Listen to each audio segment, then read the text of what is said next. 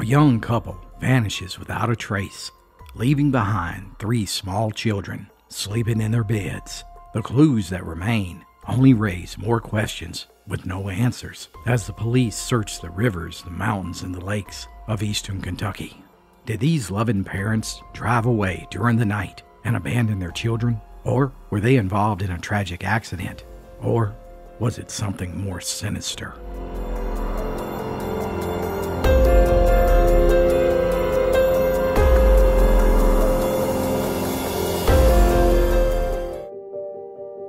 Corbin was your typical small rural town in eastern Kentucky. With a population of barely more than 7,000 people, it was the type of place where everybody knew everyone. It was here that Claude and Sue Shelton were raising their young family.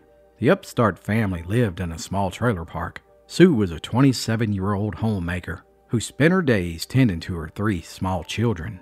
Claude was a hard working, blue collar type fella he had always loved cars and grown up turning wrenches on them. So it was only natural when he became the head mechanic at the local muffler and tire shop in Corbin. Folks who knew Claude described him as a family man and a perfectionist who was quiet spoken. Indeed, he was steady and dependable. He had worked at the same shop for the past 10 years, five days a week, like clockwork. And whenever he wasn't busy working on customers' cars, he could always be found tinkering or shining on his pride and joy, his 1967 two door Ford Galaxie 500. By all appearances, by May of 1971, Claude and Sue were living a good, simple life, and things were looking up for them. They only owed one more payment on their trailer, and they were dreaming of buying a bigger home for their growing family. And with only one week left in school for the children, the fun days of summer were in the air in many ways, it was the perfect life.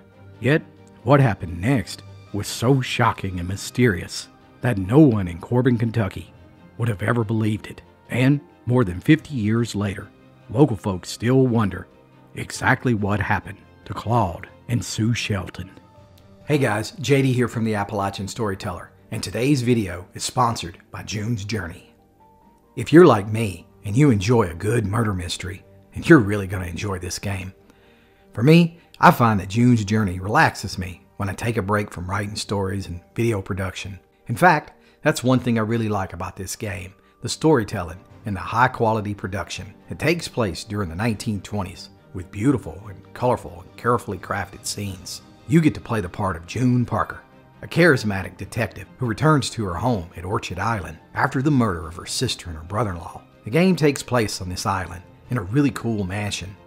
In fact, you can customize, remodel, and fix your mansion in Garden Island any way you like, as well as finding hidden objects throughout the game as you look to solve the mystery. And the best part of all, June's Journey is free to download. In fact, you can download the game right now by clicking the link in the description or via the QR code on the screen. June's Journey is available on Android or iOS devices, as well as on PC through Facebook Games. The morning of May 21st, 1971, started just like any other day at the Shelton household. Being Friday, there was a bit more excitement than usual in the air, with the weekend coming up, and the weather outlook was perfect. By 6 a.m., Claude had finished his coffee and his breakfast before making the short drive to the muffler shop for work. Sue spent the morning getting the three kids dressed for school and making them breakfast before seeing them off at the bus stop. Back at the muffler shop, it was a slow day, and being the perfect day for a drive, Claude asked for the afternoon off after promising his boss that he would work half a day on Saturday to make up the time. And by the time the children were home from school, Claude and Sam had packed the Ford up and decided to make the scenic drive up to Claude's mother's house, about 20 miles away in Williamsburg. Now, this area of Kentucky is majestic to drive through, with the nearby Cumberland Falls State Park the Daniel Boone National Forest, and the beautiful Laurel River Lake, where a new dam was being constructed. The young family enjoyed the cruise in the father's prized automobile, with a perfect 70 degree weather and the windows rolled down. Upon arriving at Claude's mother's house, they spent the entire afternoon and evening there, eating supper and enjoying catching up with one another. In fact, time seemed to pass so fast that Claude didn't realize that it was suddenly past midnight and he had to be at work at 6 a.m. the next morning down at the shop. With that in mind, Claude and Sue loaded up the kids and drove home, arriving between 1 and 2 a.m. and immediately putting the kids to bed. Now, what happens next still baffles investigators to this very day. Here are the facts concerning the next events of the early hours.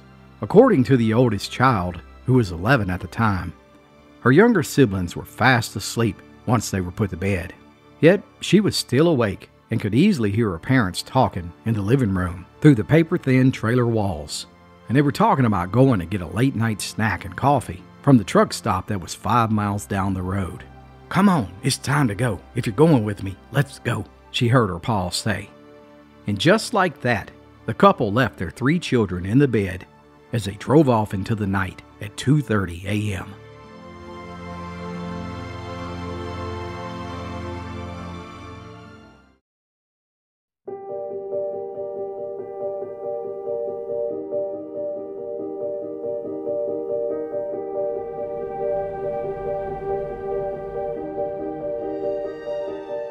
By the next morning, the children woke up and saw that their parents weren't in the bed, and their car wasn't in the driveway. After eating breakfast on their own, the children called one of Sue's friends to see if they knew where their parents were. But they too had no clue. And by 7 a.m., Claude's boss knocked on the door, wanting to know where he was and why he didn't show up to work.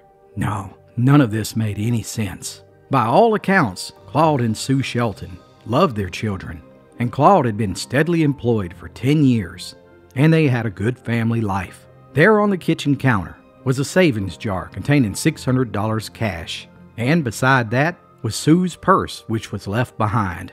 And today was payday at work, and Claude didn't even pick up his paycheck. Police were immediately contacted, and an investigation was launched right away. Detectives began interviewing the employees of the local gas station which was the only business in town that was open at the time of the disappearance, and it was thought to have been their destination. Yet, the employees stated that they had never seen them. In fact, no one had been at the gas station at all between the hours of 1 and 3:30 a.m. in the sleepy little town. This concerned officials. It was unthinkable that well-respected parents would simply abandon their children. Perhaps an accident had taken place. So, over the next three days, the Kentucky State Police scoured the entire state, interviewing everyone in Whitley County. News stations ran the story repeatedly, yet there were no leads.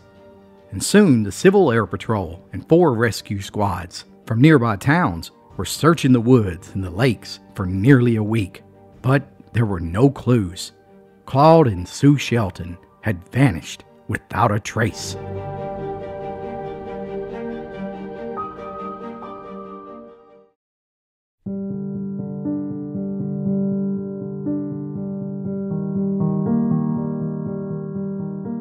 Shelton children spent the final week of school staying at a family friend's house.